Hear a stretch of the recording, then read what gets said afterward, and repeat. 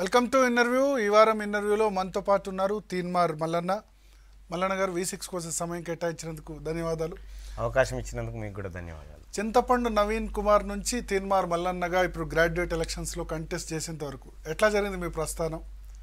ఏమనిపిస్తుంది ఒకసారి వెనక్కి తిరిగి చూసుకుంటే? నేను వాస్తవానికి వి సిక్స్ ఛానల్ మెట్లెక్కక ముందుకు తీన్మార్ మల్లన్న కాదు. నా పేరు నవీన్ కుమారే.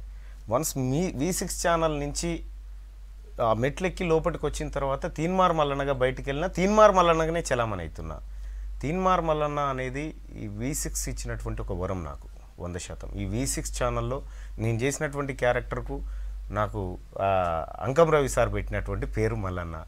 తీన్మార్ అనే వార్తల్లో పనిచేసిన కాబట్టి తీన్మార్ మల్లన్న అనేది ఒక పేరు వచ్చింది ఈ ప్రస్థానం ఏదైతే ఉందో వాస్తవానికి నవీన్ కుమార్గా నా జీవితంలో నేను కొంతవరకు సక్సెస్ సక్సెస్ కావచ్చు. కానీ తీన్మార్ మల్లన్నగా అనేక సక్సెస్లు సాధించినటువంటి విషయం కళ్ళ ముందుంది.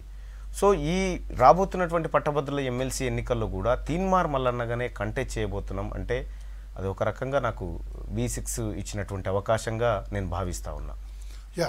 ఇప్పుడు గ్రాడ్యుయేట్ ఎలక్షన్స్ మీరు కంటెస్ట్ చేస్తున్నారు. ఈ ఎలక్షన్స్లో ఏ ఇష్యూస్ ఆధారంగా నిరుద్యోగులు కానీ పట్టభద్రులు కానీ లేకపోతే ఉద్యోగులు కానీ వీళ్ళంతా ఏ ఇష్యూస్ ఆధారంగా ఓటేయాలనుకుంటున్నారు మీరు? రైట్ నేను చెప్పేది ఒకటే క్లియర్గా. రాబోతున్నటువంటి పట్టభద్రుల ఎమ్మెల్సీ ఎన్నిక కేవలం నిరుద్యోగ సమస్యతో ముడిపడి ఉన్నటువంటి ఎన్నిక కాదు. లేకపోతే ఉద్యోగస్తులకు సంబంధించిన పీఆర్సీకి సంబంధించినటువంటి సమస్య ఒకటి మాత్రమే కాదు. వాళ్ళ కుటుంబాలకు సంబంధించినటువంటి సమస్య వాళ్ళ జీవితాలకు సంబంధించినటువంటి సమస్య వాళ్ళ భవిష్యత్ తరాలకు సంబంధించినటువంటి సమస్య. ఒక పట్టభద్రుడు ఓటేయబోతున్నాడంటే అరవై సంవత్సరాలు ఈ వ్యవస్థ పైన ఒక ఇంపాక్ట్ ఉండేటువంటి ఒక మంచి నాయకత్వం పైకి రావాల్సినటువంటి అవసరం ఉంది. సరే నిరక్షరాశిలో లేకపోతే వేరే వాళ్ళు వేసిరంటే వేరే. కానీ ఈ రాబోతున్నటువంటి పట్టభద్రుల ఎమ్మెల్సీ ఎన్నిక కొంతమంది నాయకులు చాలామంది అడుగుతా ఉన్నారు తీన్మార్ మీ ప్ర నేను ప్రత్యర్థులు ఎవరని చెప్పట్లేదండి. నేను అభ్యర్థుల మీద పోటీ చేయట్లేదు నేను సమస్యల మీద పోటీ చేస్తున్నా. తరతరాలుగా ఏదైతే అన్యాయానికి గురైనటువంటి వర్గాల సమస్యల మీద పోరాటం చేస్తా ఉన్నాను నేను. నేను పో నా నా పోటీ వాళ్ళ మీద చేస్తా ఉన్నా నిరుద్యోగం పైన పోటీ చేస్తా ఉన్నా ఉద్యోగస్తుల సమస్యల పైన పోటీ చేస్తా ఉన్నా. కాబట్టి పట్టభద్రుల ఎమ్మెల్సీ ఎన్నిక అనేది కేవలం ఇప్పుడు అభ్యర్థిని ఎన్నుకోవడం మాత్రమే కాదు ఒక భవిష్యత్ తరాలను నిర్మించుకోవడానికి ఇస్తున్నటువంటి ఒక ఓటు కాబట్టి ఇది సరైన దిశలో ఈసారి పట్టభద్రులు వేయబోతా ఉన్నారు. రాష్ట్రంలో ఎక్కడా లేనటువంటి విభిన్నమైనటువంటి ఫలితాన్ని ఇవాళ పట్టభద్రులు వరంగల్ నల్గొండ ఖమ్మం ఎమ్మెల్సీ ఎన్నికల్లో చూపించబోతున్నారు. అనేక రకాల సమస్యలు. నేను పాదయాత్ర చేసిన పదహారు వందల యాభై కిలోమీటర్లు పాదయాత్ర చేసి ఒక పట్టభద్రుని కలవలే ఆ రోజు. పట్టభద్రుని ఇంటికాడ ఆర్థిక పరిస్థితి ఎట్లుందో తెలుసుకోవాలనుకున్నా పట్టభద్రుని వ్యవసాయం ఎట్లుందో తెలుసుకోవాలనుకున్నా ఒక ఉద్యోగస్తుని పరిస్థితి ఎట్లా ఉందో వాళ్ళ ఇంటికాడ కుటుంబాల పరిస్థితి ఎట్లుందో తెలుసుకోవాలనుకున్నా పాదయాత్ర తర్వాత వాహనయాత్రలో ఎక్కువగా నేను పట్టభద్రులను కలిసేటువంటి ప్రయత్నం చేస్తా ఉన్నా. ఏదేమైనప్పటికీ మేము సమస్యలు తెలుసుకున్న తర్వాత పోరాటం చేయాలనుకున్నాం. మేము ఏదో ఎన్నికల కోసం ఎన్నికలు రాగానే చేసే కార్యక్రమాలు కాకుండా పూర్తి స్థాయిలో సమస్యల పట్ల అవగాహన ఏర్పరచుకొని వాటి నిర్మూలన కోసం వాటి శాశ్వత పరిష్కారం కోసం మేము ఏమేం చేయాలనేది ఒక అంచనాకు వచ్చిన తర్వాత ఎన్నికల గోదాలోకి దిగిన తప్ప మీతో పాటు వేరే తెలంగాణ ఉద్యమకారులు కూడా పోటీలో ఉన్నారు. అవును. కోదండరామ్ ఉన్నారు చెరుకు సుధాకర్ ఉన్నారు. రాణి రుద్రమ ఉన్నారు. వాళ్ళందరినీ కాదని మీకే ఎందుకు ఓటేయాలి? సార్ ఒకటి సార్ నేను చెప్పేది క్లియర్గా నేను ఇప్పుడు నాకు మంచి అవకాశం వచ్చింది. నేను వాస్తవానికి నేను మీడియా ముందు బయట పెట్టాలి. ఇవాళ నాకు అవకాశం ఉంది కదా చెప్తా ఉన్నా. తీన్మార్ మల్లన్న చెప్తున్నటువంటి విషయాలేంది? ఇతర అభ్యర్థులు చెప్తున్నటువంటి విషయాలేంది? మీరు ఒక్కసారి గమనిస్తే రెండు వేల పదిహేనులో ఇదే ఎమ్మెల్సీ స్థానం నుంచి నేను పోటీ చేసిన. ఆ రోజు మా పైన పల్లారాజేశ్వర రెడ్డి గారు గెలిచిండ్రు. ఆ- రోజు మాకు పూర్తి స్థాయిలో ప్రజల ప్రేమ అభిమానం పొందలేకపోయినాం. కానీ గెలిచిన పల్లారాజేశ్వర రెడ్డి గారు గడిచిన ఆరు సంవత్సరాల్లో చేసినటువంటి కార్యక్రమాలేంటి? ఆ రోజు ఓడిపోయిన తీర్మానం వలన ఈ ఆరు సంవత్సరాల కాలంలో చేసినటువంటి కార్యక్రమం ఏంది? కళ్ళ ముందుంది ఒక రాష్ట్ర ప్రభుత్వం ఒక వ్యక్తి పైన ఇన్ని పదుల సంఖ్యలో కేసులు మోపిందంటే మేము ప్రజల కోసం పనిచేస్తున్న వాళ్ళుగా మాకు అర్థమవుతా ఉంది. అందుకోసమే ప్రజల కోసం పూర్తి స్థాయిలో పనిచేయడానికి మేము సిద్ధమైనాం కాబట్టి ఈ ప్ర ఈ ఏవైతే రాజకీయాలు ఉన్నాయో ఏది? ఇప్పుడు పార్టీ ఫిరాయింపుల రాజకీయాలు కానీ లేకపోతే కమిషన్ల రాజకీయాలు కానీ ఇవేవైతే ఉన్నాయో వీటిని పూర్తిగా సమూలంగా కూకటి వేలతో పెకిలించేటువంటి రాజకీయాలను మేము తయారు చేయాలనుకుంటున్నాం. పార్టీల జెండాలను మోయడానికి కాదు ప్రజల ఎజెండాను మోయడానికి వచ్చిన వాళ్ళం. అందుకోసమే ఇవాళ మేము మేము నేను అందిస్తా ఉన్నా ఇవాళ వి సిక్స్కి క్లీన్గా. ఇగో ఒకటి ఈ క్లియర్గా ఈ బాండ్ చూడండి. నేను ఏముంది ఆ బాండ్లో? ఈ- ఈ బాండ్లో నేను క్లియర్గా రాసిన ఏమని రాసినంటే అయ్యా నేను తీన్మార్ మల్లన్న నేను ఏ స్థాయిలో ఉన్నా ఏ రాజకీయం చేసినా ఏ హోదాలో ఉన్నా నేను చనిపోయేటప్పుడు నా ఒంటి మీద ఉన్న బట్టలు మాత్రమే ఆస్తులుగా మిగలాలి. మిగతా ఒక్క అనా పైసా ఉన్నది రాష్ట్ర ప్రభుత్వ ఖజానాలో జమ కావాలని చెప్పి నేను బాండ్ రాసిన. మీ కుటుంబ సభ్యులకు చెందదు. ఏది? ఎట్టి-. పరిస్థితిలో చెందదు. ఎట్టి పరిస్థితిలో. ఆస్తులే ఉండవా లేకపోతే ఆస్తులు ఉంటే గనక రాష్ట్ర ప్రభుత్వం రాష్ట్ర ప్రభు ఆస్తులు ఒక్క ఆటాన రూపాయి ఉన్నా కూడా ఇది రాష్ట్ర ప్రభుత్వానికి చెందాలి. ఎందుకంటే రాష్ట్ర ప్రభుత్వాన్ని నడిపించేది ప్రజలు కాబట్టి వాళ్ళకి చెందాలని కోరుకుంటున్నటువంటి వాడిని ఇది ఒకటి. రెండోది ఇంకో బాండ్ పేపర్ ఎందుకు ఎందుకు చెప్తా ఉన్నా ప్రజలకి ఇదంటే ఏ ఏ రాజకీయ నాయకుడైనా సరే ఒక్కసారి గెలిస్తే ఆరు సంవత్సరాల పాటు అతన్ని ఏమీ చేయలేం ఏం పని చేయకపోయినా. కానీ తీన్మార్ మల్లన్న గెలిపించిన తర్వాత మూడు సంవత్సరాల్లో ప్రజా రెఫరెండానికి సిద్ధం అంటూ ఇంకో బాండ్ పేపర్ రాసినాం ప్రజలకు. ఎట్లా అది ఎలక్షన్ కమిషన్ ప్రకారం కాన్స్టిట్యూషన్ ప్రకారం చెల్లదు కదా. అంటే మీలా- రిఫరెండం అని అంటారు. ఎస్ బట్ అది ఎలక్షన్ కమిషన్ పెట్టదు ఎన్నిక రిఫరెండం అంటే ఎట్లా? రైట్ మీ ఇప్పుడు వి సిక్స్ లాంటి ఒక ప్రజా సంస్థ ఉంటే మీరు మీరు రెఫరెండా నిర్వహించండి. మీరు రెఫరెండం నిర్వహించండి. తీన్మార్ మల్లన్న ఎస్ ప్రజలు అనుకున్నట్టు పని చేయలేదనుకో ప్రజలు మెచ్చిన తీరుగా పని చేయలేదనుకో మూడు సంవత్సరాలు మీ రెఫరెండంలో వచ్చే రిజల్ట్ని బట్టి నేను రాజీనామా చేసిపోవాలి అంటే ఫిఫ్టీ పర్సెంట్ కంటే ఎక్కువ ఓట్లు వస్తే మీరు ఎమ్మెల్సీగా కంటిన్యూ కంటిన్యూ కావాలి. గెలిస్తే. గెలిస్తే. లేకపోతే లేదంటే వెంటనే రాజీనామా చేయాలి. ఈ రెండిట్లలో ఏ ఒక్కదాన్నన్నా ఇప్పుడు కంటెస్ట్ చేస్తున్నటువంటి నాయకులు చెప్పగలుగుతారా? కానీ చాలా మంది ఇట్లా బాండ్ పేపర్లు రాశారు తర్వాత సార్ అప్పుడే కూర్చున్నారు. సార్ తీన్ నేను తీన్మార్ మల్లన్న సార్. నేను తీన్మార్ మల్లన్న. మీరు ఈ రోజు కూడా చూడండి బాండ్ పేపర్లు రాసేది ఏ- రాసినా సార్ ఇక్కడ నేనేమన్నా ఆస్తులు తీసుకొస్తాను రాసినా లేకపోతే మీకు ఉద్యోగాలు ఇప్పిస్తాను రాస్తున్నానా? నాకు నేనుగా ఎంత నీతివంతమైన రాజకీయాలు చేయాలో నాకు నేనుగా నిర్దేశించుకున్నటువంటి ఒక ప్రామాణికాలు. ఇవి నేను ప్రజలకు సమర్పిస్తా ఉన్నా. మీరే చెప్పారు పల్లా రాజేశ్వర రెడ్డి మీద రెండు వేల పదిహేనులో పోటీ చేశానని చెప్పి. సో అప్పటికి ఇప్పటికి తీన్మార్ మల్లంలో వచ్చిన మార్పు ఏంటి అప్పుడు అప్పుడైతే మీరు సెకండ్ ప్లేస్లో అప్పుడు బీజేపీ ఉంది మీరు third place fourth. Place third third place place లో లో ఉన్నారు. సో అప్పటికి ఇప్పుడు ఇప్పుడు ప్రజలు మిమ్మల్ని ఆదరిస్తారని ఎట్లా అనుకుంటున్నారు సార్ తెలంగాణ రాష్ట్రం ఏర్పడ్డ తర్వాత కేసీఆర్ అరాచకమైనటువంటి రాజకీయ ఉప్పెన చేస్తూ ఉంటే కనీసం ప్రతిపక్షాలు కానీ ఒక ప్రజా సంఘం కానీ ఒక ఉద్యోగ సంఘం కానీ నిర్దాక్షిణ్యంగా వాళ్ళ హక్కులను అణిచివేస్తే కనీసం కన్నెత్తి చూడలేని రాష్ట్ర ప్రభుత్వం వైపు తల ఎత్తి చూడలేనటువంటి పరిస్థితిలో తీన్మార్ మల్లన్న ప్రాణాలకు తెగించి ప్రశ్నించడం ప్రారంభించును. ఇలా లక్షలాది మంది ప్రజల్ని ప్రశ్నించే తత్వాన్ని నేర్పించినాం మేము.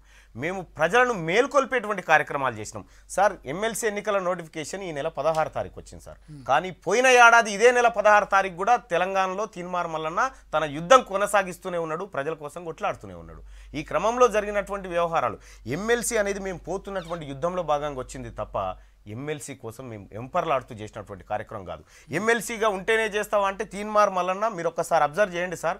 తీన్మార్ మల్లన్న తీన్మార్ మల్లన్న టీం కానీ ఎక్కడైనా పేదవాడు ఉంటే ఇరవై నాలుగు గంటల్లో ఆ కుటుంబాన్ని నిలబెట్టి ఆదుకున్నటువంటి పరిస్థితులు. నాగోల్ కాడ పేదవాడికి డబుల్ బెడ్రూమ్ ఇల్లు కట్టిస్తా ఈ రాష్ట్ర ప్రభుత్వం ప్రామిస్ చేసి కట్టియకపోతే తీన్మార్ మల్లన్న టీం పోయి ఇవాళ వాళ్ళని ఒక ఇంట్లో మరి ఎమ్మెల్సీ వద్దనుకుంటే పోయినసారి కంటెస్ట్ చేశారు ఈసారి కంటెస్ట్ చేశారు మధ్యలో హుజూర్ నగర్ పోటీ చేశారు.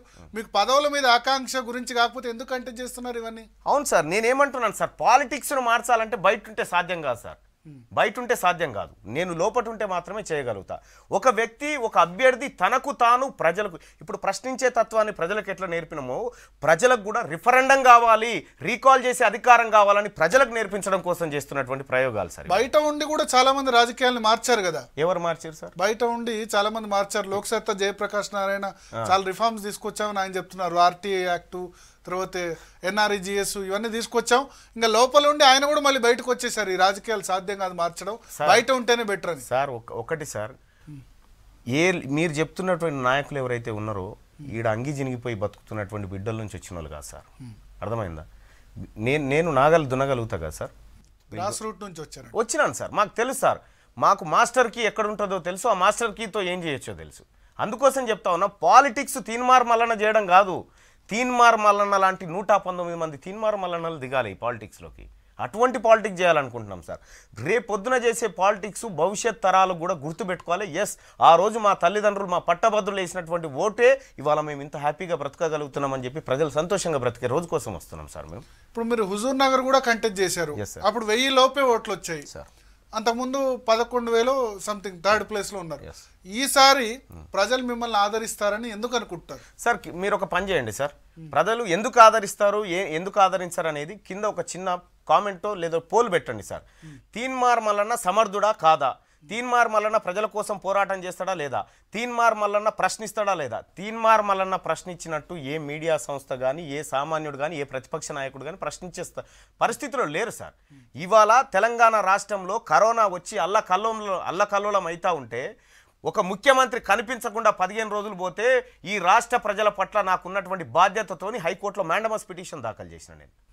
అంటే నాకు ఈ ఇక్కడ ఉన్నటువంటి బాధ్యత నాకు. ఈ ప్రజల పట్ల ఈ నిరుద్యోగుల పట్ల ఈ- ఉద్యోగ ఈ ప్రశ్నించడం హుజూర్ నగర్ ఎన్నికలప్పుడు కూడా ఉప ఎన్నికలప్పుడు కూడా చేశారు. బట్ ఎందుకు అప్పుడు ప్రజలు ఆదరించలేదు? అంటే ప్రజలకు నేను పూర్తి స్థాయిలో అర్థం కాలేదు. పూర్తి స్థాయిలో అప్పుడు అర్థం కాలేదు. ఏంది మల్లన్న అన్నాను. కానీ ఇవాళ ఇదే హుజూర్ నగర్ నుంచి ఇదే హుజూర్ నగర్ నుంచి మొన్న ఒక మిత్రుడు మాకు ఉత్తరం రాసిండు. ఏమని? అన్న నేను పొరపాటు చేసినన్నా మీరు ఇలాంటి వాళ్ళని తెలియక మేము ఓటు వేయలేకపోయినామన్నా ఐఎమ్ రియల్లీ సారీ అని చెప్పి రాయగలిగిండు. ఒక- పర్సెప్షన్ ఉంది. సినీ గ్లామర్ కానీ లేకపోతే సోషల్ మీడియా గ్లామర్ కానీ ఇవి రాజకీయాల్లో వర్కౌట్ కావు. చిరంజీవి పవన్ కళ్యాణ్ లాంటి వాళ్ళే ఎలక్షన్స్లో ఓడిపోయారు. తీన్మార్ మల్లన్న ఎంత అని అడిగే వాళ్ళకి మీ జవాబు ఏంటి? సార్ తీన్ తీన్మార్ మల్లన్న పవన్ కళ్యాణ్ కాదు తీన్మార్ మల్లన్న చిరంజీవి కాదు తీన్మార్ మల్లన్న యాక్టర్ కాదు తీన్మార్ మల్లన్న ఏమన్నా ఆర్టిస్ట్ కాదు. నేను ప్రజల కోసం ప్రశ్నిస్తున్నటువంటి ఒక సామాన్యుణ్ణి మాత్రమే. సోషల్ మీడియాలో లైకులు లేకపోతే కామెంట్స్ కొట్టినంత ఈజీగా ఓట్లు వేస్తారని అనుకుంటున్నారా మీరు? సార్ ఒక్కటి గుర్తుపెట్టుకోండి సార్. గతంలో ఉన్నటువంటి పరిస్థితి వేరు ఇప్పుడు ఉన్నటువంటి పరిస్థితి వేరు సార్. మీరు నేను చెప్తున్నా కదా సార్ క్లియర్గా మీ వి సిక్స్ ఛానల్లోనే ఒక పోల్ పెట్టండి సార్. ఒక పోల్ పెట్టండి. ఆ పోల్లో ఓటేసిన వాళ్ళు ఎలక్షన్లో ఓటేయడం పోల్లో ఓటేయడం డిఫరెంట్ కదా. లేదంటే మీకున్నటువంటి సిబ్బందితో ఒక సర్వే చేయించుకోండి. గత ఇప్పటికే కేసీఆర్ గారు నాలుగైదు సర్వేలు చేయించుకుండు. ఏ సర్వేలో చూసినా డెబ్బై రెండు శాతం ఓట్ల కంటే తక్కువ లేకుంటే ఇలా తీన్మార్ మల్లనకు వస్తూ ఉంది. ఇది కేసీఆర్ గారి ఇంటెలిజెన్స్ సర్వేలు. మీరు ఒక మాట చెప్తున్నా లైకులు కామెంట్లు కాదు సార్ మేము చేసే కార్యక్రమము. కేవలం తీన్మార్మలన్న సోషల్ మీడియాకు మా టీం సోషల్ మీడియాకు పరిమితం కాలే. పదహారు వందల యాభై కిలోమీటర్లు పాదయాత్ర చేసి ప్రతి గడపను తట్టిన వాళ్ళం మేము సార్. ప్రతి సమస్యను తెలుసుకున్నటువంటి వాళ్ళం మేము సోషల్ మీడియా ద్వారా వాళ్ళ ఇండ్లకు పోలే సార్. నడుచుకుంటూ కాళ్ళు బొబ్బెలు ఎక్కితే పగిలిపోంగా రోడ్డు మీద పడుకొని ఎండల ఎండి బురదలో వండుకుంటూ పోయి ఆ ఇండ్ల చుట్టూ తిరిగిన వాళ్ళం సార్. సోషల్ మీడియాలో ఉంటే ఇక్కడే ఉండేటోళ్ళం కాదు సార్. ప్రజల్లో ఎందుకు తిరుగుతాం? నవంబర్ ఒకటి తారీఖు నుంచి ఈ రోజు వరకు ఇంటికి పోకుండా ప్రజల్లో తిరుగుతూ ఉన్నాం మేము రైట్. మల్లన్న గారు మీరు ఏమైనా పాఠాలు నేర్చుకున్నారా గత ఎలక్షన్ నుంచి గత ఓటముల నుంచి? పాఠాలు కాదు గుణపాఠాలే నేర్చుకున్నా. పాఠాలు కాదు. ఒకప్పటి రాజకీయం వేరు ఇప్పుడు చేస్తున్నటువంటి రాజకీయం వేరు. అప్పుడు వాస్తవం ఎస్ మీరు అన్నది కూడా వాస్తవం. అవి మాకు గుణపాఠాలు లాంటివే. గత ఎన్నికల్లో పోటీ చేసినప్పుడు మాకు మాకంటూ ఒక సైన్యం ఉండేది. కానీ పోల్ మేనేజ్మెంట్ సిస్టమ్ ఉండకపోయేది. కానీ ఇవాళ మేము ఈ వరంగల్ నల్గొండ ఖమ్మం పట్టభద్రుల ఎమ్మెల్సీ ఎన్నికల్లో ప్రతి బూత్లో మా సిస్టమ్ని మా సైన్యాన్ని తయారు చేసి పెట్టగలిగినాం. ప్రతి ఓటర్ దగ్గరికి మేము రీచ్ కాగలిగినాం. ఇట్లా మిగతా రాజకీయ పార్టీలకు ఊహించిన అందనంతటువంటి మెచ్యూరిటీ మాకు వచ్చింది ఈసారి. ఆ విధంగానే మా రాజకీయ వ్యూహాలు ఎత్తుగడలు ఉండబోతూ ఉన్నాయి. రాజకీయ పార్టీలు కూడా రాజకీయం అంటే ఇట్లా కూడా చేయొచ్చా అనేటువంటి ఆశ్చర్యానికి లోనయ్యేటువంటి ఎత్తుగడలు మా దగ్గర ఉన్నాయి. ఖచ్చితంగా పూర్తి స్థాయిలో రాజకీయం ఎలా చేయాలో మేము చూపిస్తాం. ఇప్పుడు నేను చెప్పినట్టు మీ పోటీదారులు పల్లా రాజేశ్వర రెడ్డి ఉన్నారు తర్వాత కోదన్ రామ్ ఉన్నారు. కోదన్ రామ్ కూడా ఉద్యమకారుడు టీజేఎస్ చైర్మన్. ఎస్ రాణి రుద్రమ ఉన్నారు చెరుకు సుధాకర్ ఉన్నారు. వాళ్ళందరి కాదని మీకు ఎందుకు ఓటేయాలి ఎస్ తీన్మార్ మల్లన్న క్లియర్గా చెప్తుండు కదా నేను ఆస్తులు సంపాదించుకోవడానికో పదవులు అనుభవించడానికో రామ్ చెరుకు సుధాకర్ వీళ్ళు కూడా ఆస్తులు సంపాదించుకోలేదు కదా రాణి రుద్రమ? వాళ్ళు పదవుల్లో లేరుగా ఇప్పటిదాకా. ఇప్పటిదాకా లేరుగా పదవుల్లో. ఎక్కడన్నా పదవుల్లో ఉన్నారా? ఎక్కడ లేరు. కానీ వాళ్ళ వాళ్ళ బాండ్ పేపర్ తీసి చూడండి సార్. వాళ్ళ అఫిడవిట్లు తీసి చూడండి. ఇట్లా ఇట్లా ముంగడ పెట్టుకొని చూడండి. వాళ్ళ ఆస్తులు తీన్మార్ మలన్న ఆస్తులు ఎట్లున్నాయి పరిస్థితి? తీన్మార్ మలన్న మీద ఉన్న కేసులన్నీ? వాళ్ళ మీద ఉన్న కేసులన్నీ? ఒకసారి ఇట్లా తెరుచుకొని చూడండి. నేను ఆస్తులు సంపాదించుకోవడానికి రాలేదు సార్. ఎందుకంటే నేను ఖర్చు పెట్టేటోని కాదు కాబట్టి. వాళ్ళు ఖర్చు పెడతారు డబ్బులకు ఓట్లు కొనాలనుకుంటారు కాబట్టి వాళ్ళు సంపాదించుకోవడానికి వచ్చేవాళ్ళేమో. కానీ నాకు ఆ ఉద్దేశం లేదు. నేను కంప్లీట్గా ప్రజల్ని నమ్ముకున్నా ప్రజలతోటే పోతా. ఖర్చు పెట్టందే పదహారు వందల యాభై కిలోమీటర్ల పాదయాత్ర చేశారు? ఎక్కడి నుంచి వచ్చాయి డబ్బులన్నీ? సార్ ఇక్కడ కట్టంగూరు దగ్గర ఒక ఆయన ఉంటాడు సార్. లూనా వేసుకొని వచ్చిండు. వాళ్ళ కొడుకు సాఫ్ట్వేర్ ఇంజనీర్ వాళ్ళిద్దరు కొడుకులు. వచ్చి ఆయన వచ్చి ఏం చేసిండంటే యాభై కిలోల బియ్యం తీసుకొచ్చి మా మా బండి మీద వేసిండు. సార్ ఒక రెండు పూటల కన్నా ఎక్కడికి వస్తుంది మీ సార్ అని. ఒక ఆయన ఉప్పు ఇచ్చిండు సార్. ఒక ఆయన పప్పు కారం ఉల్లిగడ్డ ఇవి ఇచ్చిండు సార్. కూర దొరికినాడు కూర తిన్నాం. లేనినాడు ఇంకా పచ్చి పులుసు చేసుకొని తిన్నాం. అటు పాదయాత్ర చేయడానికి పైసలు ఎందుకు సార్? ఏ ఇంటికి పోయినా అన్నం పెట్టిరు కదా. మీతో పాటు మీ సైన్యం అంటున్నారు కదా. అవును సార్. ఫ్రీగా సర్వీస్ చేస్తున్నారా? వందకు వంద శాతం సార్. మీరు చూడండి ఒక్క ఒక్క మాట వాళ్ళ తల్లిదండ్రులు తీసుకొచ్చి నా దగ్గర అప్ప అప్పచెప్పిపోయినారు. అన్న నీ వెంట దింపుకో అని చెప్పి. నా దగ్గర ఇప్పుడు వందలాది మంది బిడ్డలు ఉంటారు నాతోటి. ఉంటే తింటారు లేకపోతే లేదు. అట్లాని మాకు మాకు లేకుంటే ఏం లేదు. అంటే మాకు సఫిషియెంట్గా మేము తినడం కోసం ఇవన్నీ ఉన్నాయి. కానీ ఒక మాట పాదయాత్ర చేయడానికి పైసలు నాకేం అవసరం పడలేదు సార్ వాస్తవానికి. ఇప్పుడు ఎలక్షన్లో ఖర్చుకు? ఎలక్షన్ ఖర్చు ఏముంటుంది సార్? ఇప్పుడు నేను నల్గొండలో యాత్ర చేసినాం సార్. నామినేషన్కు భారీ ర్యాలీ. నేను ఒకటే మాట చెప్పిన. అన్న ఒక్కరోజు నా కోసం కేటాయించండి జీవితం మొత్తం మీకోసం కేటాయిస్తా అని చెప్పిన. ఆ ఒక్క పిలుపుకు వేలాది మంది తరలొచ్చారు సార్. అసలు ఆ ర్యాలీ తీస్తుంటే ఆ టపాసులు ఎవరు తెచ్చిరో తెలియదు నాకు. ఆ బ్యానర్లు ఎక్కడియో తెలియదు ఆ సప్పుళ్ళు ఎక్కడియో తెలియదు ప్రజలు అంత చైతన్యవంతంగా వచ్చారు సార్. ఇది తీన్మార్ మల్లన్న కాదు తీన్మార్ మల్లన్న చేస్తున్న యుద్ధం జెన్యున్ అయిన యుద్ధం కాబట్టి ప్రజలు తమ తోచిందేదో చేస్తూ ఉన్నారు. కేసీఆర్ను ఆయన కుటుంబాన్ని బండబూతులు తిట్టడం వల్లే మల్లన్న ఇంత పాపులర్ అయ్యారా? అంటే ఆయన బ్రహ్మదేవుడా సార్? ముఖ్యమంత్రి ఇదే కల్వకుంట్ల చంద్రశేఖరరావు గారు నేను అంటున్నా కదా రోషయ్య గారు ముఖ్యమంత్రి ఉన్నప్పుడు రోషయ్య గారిని అన్నాం కిరణ్ కుమార్ రెడ్డి ఉన్నప్పుడు. కిరణ్ కుమార్ రెడ్డిని అన్నాం చంద్రబాబు ఉన్నప్పుడు. చంద్రబాబుని అన్నాం ఎవరుంటే ముఖ్యమంత్రి స్థానంలో ఎవరుంటే వాళ్ళని అంటాం సార్. ఇప్పుడు ఈయన దీ ఇప్పుడు కిరణ్ కుమార్ రెడ్డి గారిని అనేటప్పుడు కేసీఆర్ని అనలే కదా సార్. ఆ స్థానాన్ని అంటాం సార్. ఎందుకంటే అది ఇంప్లిమెంట్ చేయాల్సినటువంటి స్థానం హామీలు ఇచ్చి అమలు చేయాల్సిన ఓకే కన్స్ట్రక్టివ్ క్రిటిసిజం ఓకే. బూతులు తిట్టడం కరెక్టేనా? సార్ కేసీఆర్ గారు నేర్పించి ఆయన మా కేర్ టేకర్ ఆయన నేర్పించినటువంటి మాటలకు ఒక్క అడుగు కూడా నేను బయటికి జరగను సార్. ఎడమ కాలు చెప్పుతో సమానం అన్నాడు సార్. మేము వాటిని గౌరవ గౌరవిస్తాం సార్. మాకు మాకు మా ముఖ్యమంత్రి గారిని ఎడమ కాలు చెప్పని గౌరవించుకుంటాం. ఆయనకు ఆయన లాంగ్వేజ్లోనే సమాధానం ఇస్తారు. సార్ మేము ఆయన ఎట్లా చెప్తే మేము అట్లే సార్. ఆయన స్మూత్గా చెప్పి సున్నితంగా చెప్పి మాకు సమాధానాలు చెప్పినప్పుడు ఓకే. ఎంతమంది జర్నలిస్టులను? ఏ ఊకో సన్నాసం తిట్టండి సార్. ఆయన ఎటుపోయినాయి సార్ మీరంతా? బరాబర్ జర్నలిస్టుల ప్రక్షాళన జర్నలిస్టులకు అన్యాయం జరిగినా మీడియా సంస్థల మీద ఒత్తిడి చేసినా తీన్మార్ మల్లన్న మాట్లాడింది సార్. క్రిటిసిజం అదే లెవెల్లో ఉంటుంది. వేరే పేర్లు పెట్టడం కరెక్టా? కేటీఆర్ను డ్రామా రావు అనడం లేకపోతే ఇంకో ఇంకో విధంగా అనడం కేసీఆర్కి ఇంకో పేరు పెట్టడం ఇవన్నీ కరెక్టేనా ఇంకా ఇంకా చెప్తున్నా సార్ అది కల్వకుంట్ల నాట్య మండలి అని సురభి కళామండలి లెక్క కల్వకుంట్ల నాట్య మండలి అది. ఏం డ్రామ్ డ్రామాలు చేసే వాళ్ళని డ్రామాలు అనకపోతే ఏమంటాం సార్? త్వరలో నిరుద్యోగ వృత్తి త్వరలో నోటిఫికేషన్లు ఈ ఈ డ్రామా కాకపోతే ఏంది? డ్రామాను డ్రామానే అంటాము బాతకాని కొట్టేటోని బాతాలే అంటాం యా ఇప్పుడు మీరు నోటిఫికేషన్స్ అన్నారు కాబట్టి కేటీఆర్ అంటున్నారు లక్ష ముప్పై ఒక్క వేల ఏడు వందల తొంభై తొమ్మిది ఉద్యోగాలు భర్తీ చేశాం. అనవసరంగా తప్పుడు ప్రచారం చేస్తున్నారు మా మీద అని ఇప్పుడు నేను సవాల్ ఇసురుతా ఉన్నా ఇప్పుడు కేటీ రామారావు అనే వ్యక్తి ఒక పదార్థాన్ని తయారు చేసి దాని చుట్టూ చర్చను నడిపించాలి ఎన్నికల్లో అనేది అలా ఉద్దేశం. నేనేమంటున్నా ఇప్పుడు పోటీ చేస్తున్నటువంటి అభ్యర్థులు కూడా ఈయన లక్ష ముప్పై రెండు వేలు అనగానే తప్పు తప్పు తప్పు తప్పు అని ఈ తప్ప ఒప్ప తర్వాత లెక్కేడ తేలాలే? చీఫ్ సెక్రటరీ దగ్గర తేలాలి లెక్క. అందుకనే చీఫ్ సెక్రటరీ గారికి రైట్ టు ఇన్ఫర్మేషన్ యాక్ట్లో నేను లెటర్ ఇస్తా ఉన్నా. ఏమని? అయ్యా నువ్వు లక్షా ముప్పై రెండు వేల ఉద్యోగాలు నీ ప్రభుత్వం ఇచ్చిందంటుంది నీ ఆధ్వర్యంలో. ఒకవేళ ఇస్తే ఏ మనిషికి ఇచ్చినో ఏ రోజు ఇచ్చినో ఆయన దేవూరు ఆయన ఫోన్ నెంబరు ఆయన వివరాలు నాకు సమర్పించమని నేను నిజంగా ఈ రాష్ట్ర ప్రభుత్వానికి చిత్తశుద్ధి ఉంటే కల్వకుంట్ల చంద్రశేఖరరావు గారికి అలియాస్ పలానాయనకు గనక చిత్తశుద్ధి ఉంటే ఈ లక్షా ముప్పై రెండు వేలు ఇగో పలానా మందికి ఇచ్చినామని చెప్పి ఆ ఉత్తరం నాకు ఇమ్మను నేను ఒక్కటే రెండు ఒక్కటే రోజుల ఈ లక్షా ముప్పై రెండు వేల మందిని మా టీంతో కలుస్తా. నీ ఉద్యోగాలేంది నీ కథ ఏంది నీ భాగోతం ఏందో బయటపడుతుంది. లేదు తీన్మార్ మల్లన నీకు ఇవ్వడం ఇష్టం లేదనుకుంటే ఒక ఆదివారం పూట నువ్వు ఇచ్చినటువంటి లక్షా ముప్పై రెండు వేల మంది పబ్లిక్ను పరడ్ మైదానంలో నిలబెట్టమని లెక్క పెట్టుకుంటాం. సో మరి ఇదంతా వాళ్ళు శాఖల వైజ్గా కూడా రిలీజ్ చేశారు. నేనే పలానా శాఖలో పలానా ఉద్యోగాలు ఇన్ని శాఖలు భర్తీ చేశామని చెప్పారు.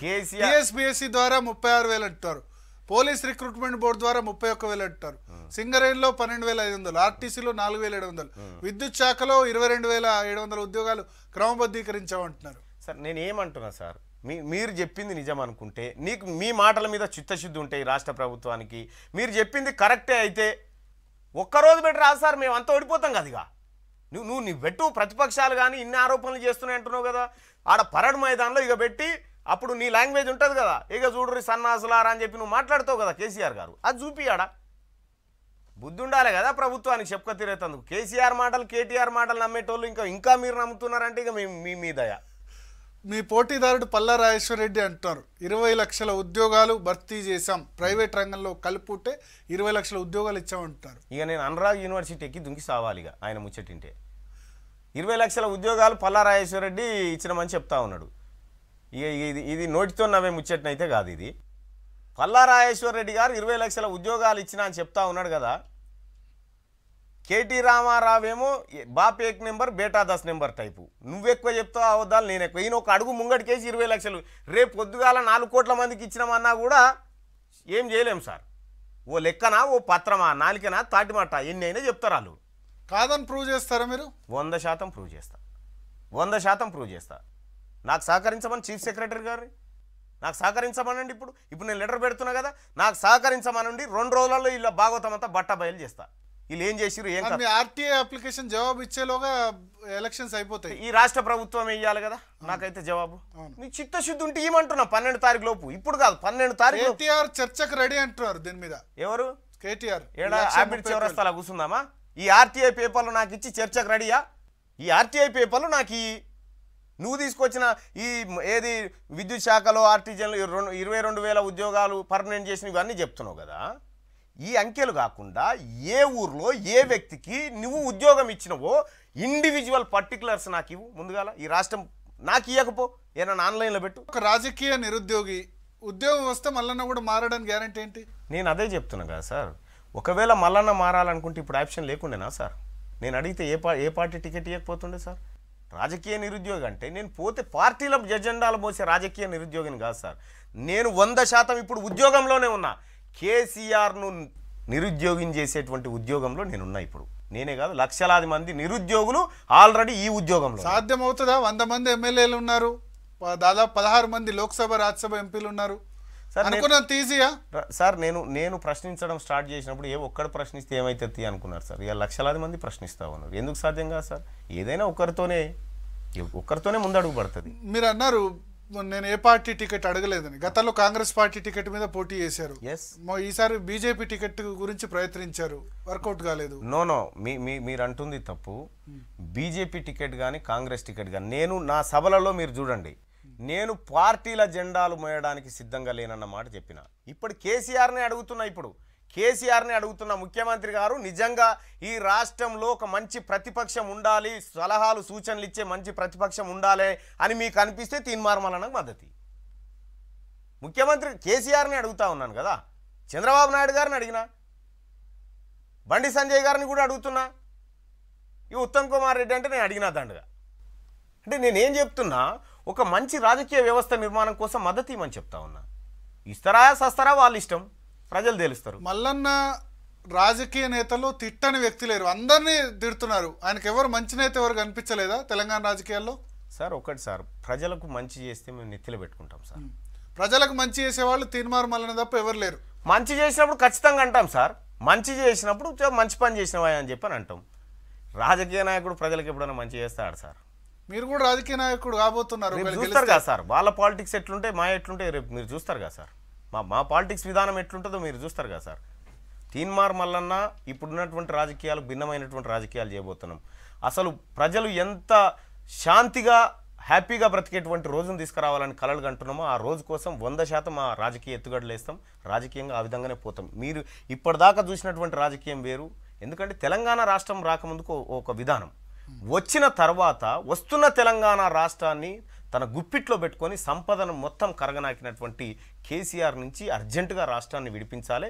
విడిపించిన రాష్ట్రంలో రాష్ట్రాన్ని ప్రజల చేతుల్లోకి తీసుకుపోవాలి. ఈ దొంగ రాజకీయ పార్టీల దగ్గర కాదు ప్రజల చేతుల్లోకి తీసుకుపోవాలి. బట్ ఇప్పుడు కాంగ్రెస్ బీజేపీల సహకారం లేనిది సాధ్యం అవుతుందా జాతీయ పార్టీల సహకారం లేనిది? ఈడ ఓట్లు వేసేది పట్టభద్రులు ఈడ ఈడ కాంగ్రెస్ గుర్తుంటుందా? ఏమైనా బీజేపీ గుర్తుంటుందా?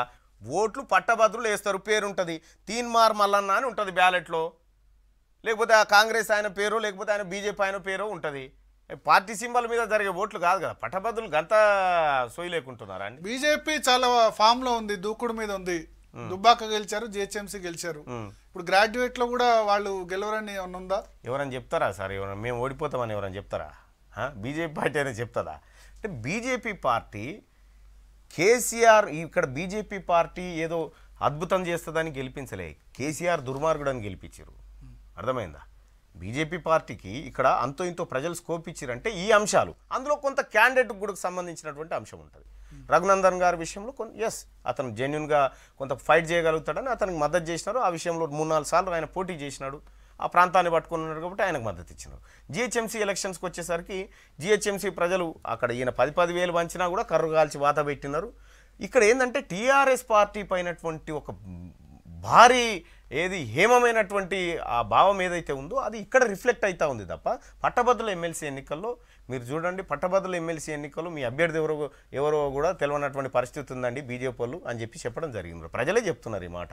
అక్కడ ఇక్కడ హైదరాబాద్ ఎలక్షన్ వస్తే పివి నరసింహారావు కూతురు తీసుకొచ్చి ఎలక్షన్లో కంటెస్ట్ చేయిస్తున్నారు. నిజంగా నేను ఒక మాట చెప్తా. ఇవాళ ఒక పేపర్లో చదివిన పివి నరసింహారావుకు కేసీఆర్కు దగ్గర పోలికలు ఉన్నాయని పాపం వాణి గారు చెప్పడం నాకు చాలా బాధ అనిపించిందండి. పివి నరసింహారావు గారు చాలా గొప్ప మనిషి అండి. నిజంగా పివి నరసింహారావు గారి కుటుంబం మీద కేసీఆర్ గనక ఏమైనా ప్రేమ ఉంటే కవితకి ఇచ్చిన సీట్ ఇవ్వచ్చు కదండి. లేకపోతే ఇంకొక ఎమ్మెల్సీ గవర్నర్ కోటాలో ఇవ్వచ్చు కదండి. అయ్యడు కేవలం రాజకీయాల కోసం వాడుకోవడానికి ఆమెను పాపం బలిపశువుని చేయబోతా ఉన్నాడు. నిజామాబాద్లో ఓడిపోయింది పీవీ గారి బిడ్డనే ఓడిపోయిందా నా బిడ్డ ఎంత అని చెప్పి చెప్తాడు అన్నట్టు రేపొద్దుగాల. అంటే పివి నరసింహారావు గారి ఆత్మ శాంతించి ఉంటే మళ్ళీ మేల్కొల్పి ఆందోళనకు గురి చేసేటువంటి కార్యక్రమం ఇదంతా. కేసీఆర్ గారు ఎప్పుడైనా ఒక వస్తువును అనూహ్య ఆడ పత్రికల్లో కూడా చూడ కేసీఆర్ అనూహ్య నిర్ణయం అనూహ్యం కాదు ఏం కాదు అది. ఆల్రెడీ అనుకున్న నిర్ణయమే. పత్రికలు మీడియా అవన్నీ చెప్తూ ఉంటుంది. కానీ నేను ఒక మాట క్లియర్గా చెప్తున్నా. కేసీఆర్కి ఏమాత్రం చిత్తశుద్ధి ఉన్నా ఏమాత్రం చిత్తశుద్ధి ఉన్నా ఆ బిడ్డను తీసుకొని మంత్రి పదవి ఒక ఎమ్మెల్సీతో రాజీనామా మీ బిడ్డతో చేయించు రాజీనామా చేయించి మళ్ళీ గెలిపించు.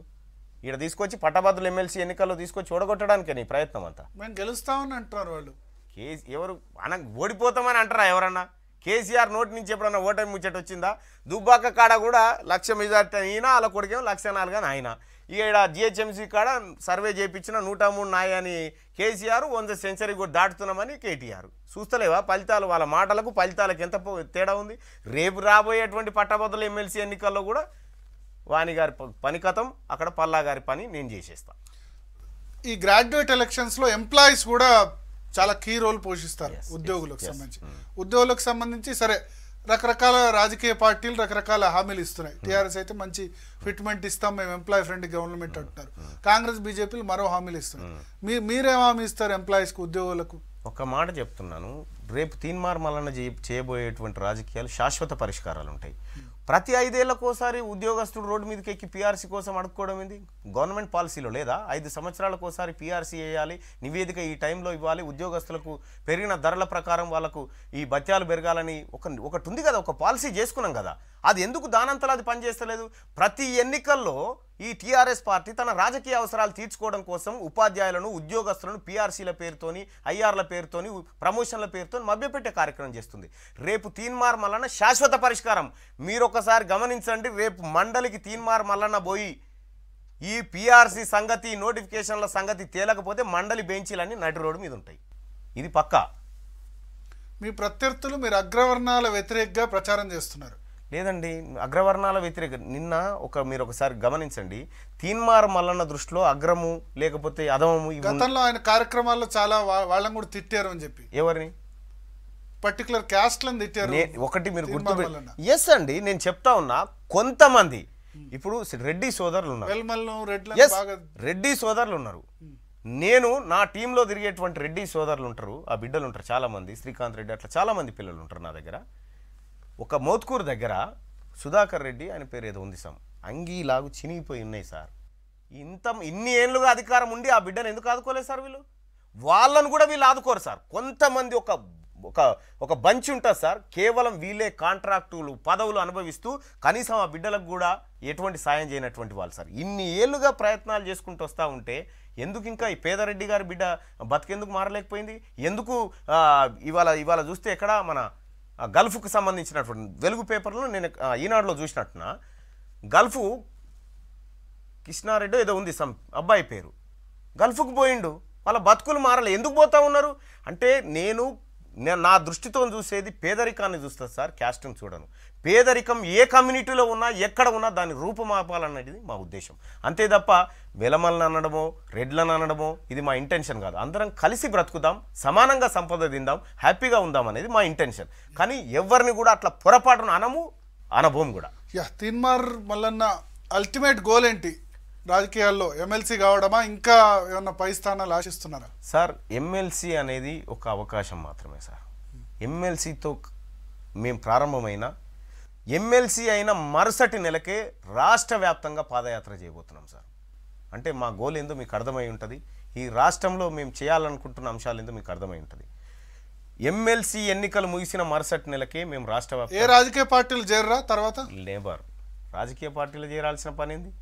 రాజ రాజకీయ పార్టీ ఎవరు ఎవరు ఏ దాంట్లో చేసినా ఇప్పుడు ఏ రాజకీయ పార్టీ జెండా మోసినా వీళ్ళ హక్కులను కాలరాయాలి ప్రజల హక్కులను.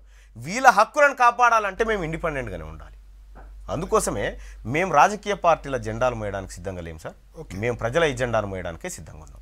Right thank you Teenmaar Mallanna all the best so మొత్తానికి తీర్మార్ మల్లన్న చెప్తున్నారు రాజకీయ పార్టీల ఎజెండాలు మోయడానికి కాదు ప్రజల జెండాను మోసేందుకే తాను సిద్ధంగా ఉన్నాను ప్రజల జెండాను మోస్తాను. మూడు సంవత్సరాల్లో తాను గెలిచిన తర్వాత సంతృప్తికరంగా పట్టభద్రులు కనుక లేకపోతే రాజీనామా చేసేందుకు కూడా సిద్ధం రెఫరెండం నిర్వహిస్తానని కూడా ఆయన చెప్తున్నారు. ఇది ఈ వారం ఇంటర్వ్యూ మరో వారం ఇంటర్వ్యూలో మరో గెస్ట్ కలుద్దాం.